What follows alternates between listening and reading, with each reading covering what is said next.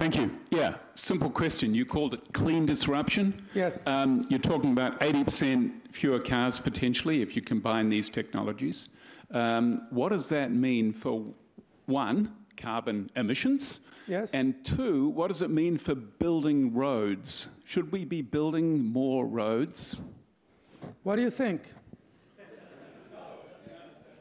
The, so, so, so the answer, the answer is that um, self-driving cars are better drivers than we are already.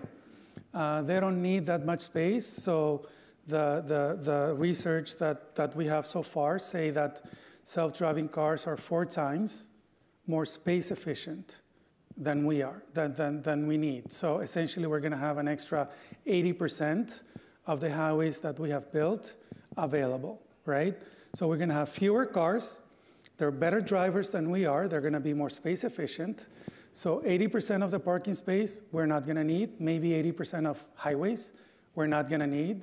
Um, so do we need to be building super highways right now? Well, not if you want, if you're looking at 10, 15, 20 years, right? Uh,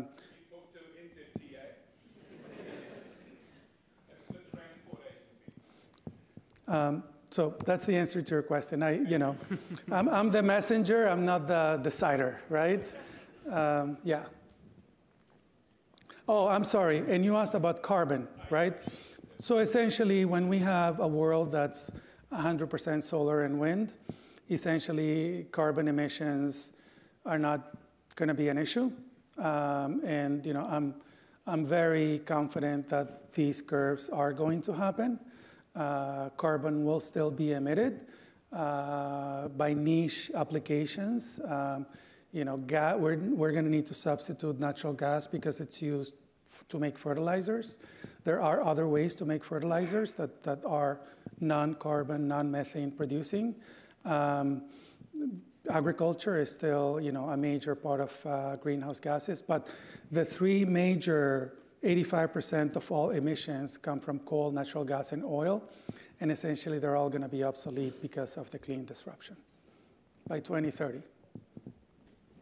Thanks. Tony, if you were um, a policy advisor working for the city authority on how to bring... Where? Policy advisor? Working for the city council um, and help, trying to help bring this about, what would be your advice um, to such a person?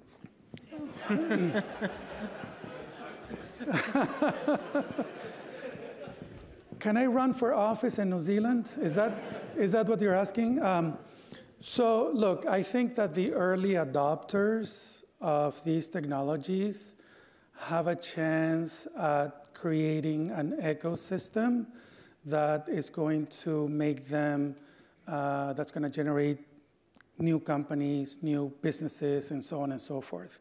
Um, so, you know, my advice to City Council would be, look, quickly pass regulation to open up to self-driving cars, to, you know, basically tear down the, the, the, the regulations that work against uh, solar and wind. And basically, I, would make the grid more of an internet plug and play where anybody can generate, and anybody can sell. I would you know, make it uh, EV friendly. I would make it self-driving car friendly. Um, and I would build an ecosystem around that. I mean, this thing, um, you know, the EV market has 100x to grow. The solar market has 100x to grow it's going to need a lot of software and sensors and, and so on and so forth. And the early adopters are the ones who have a chance at creating the Googles and the Ubers uh, and so on of this clean disruption. So that would be my advice. Let's go up to the back on that side, Laura, see if we can spread the questions around. There's a, there's a sort of arm about halfway up. Yeah, that'll be fine. Hey, thank you. Uh, my name is Jimmy Green. Um, I wonder, you, you're talking about carbon emissions really coming down to zero, but we haven't talked about air travel at all. Can you say anything about air travel, or, or is, that, is that just not part of I'm of sorry, I didn't, I didn't, what? Air travel. Air travel. Um, let's see. So you've heard of solar impulse, right? Solar impulse? Yeah, so Solar Impulse is a, um, I saw it in Abu Dhabi a couple of months ago before it took off. Essentially, it's an airplane the size of a 747 that's powered by solar and solar only and uses lithium ion batteries. Uh, and it's going around the world, essentially. Um, so, you know, this is the beginning of a disruption, pun intended, from below uh, of the air travel industry. Uh, it's not there yet, it's got a ways to go. Uh, we need, um, so for the clean disruption to happen in the auto industry, we don't really need breakthroughs. All we need is this technology cost curve to keep going down.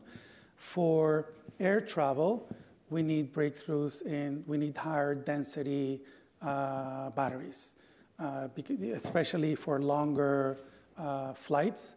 We need higher density batteries. So essentially, it's going to take a little longer than, than the transportation industry. We'll get there, but it's going to take a little longer.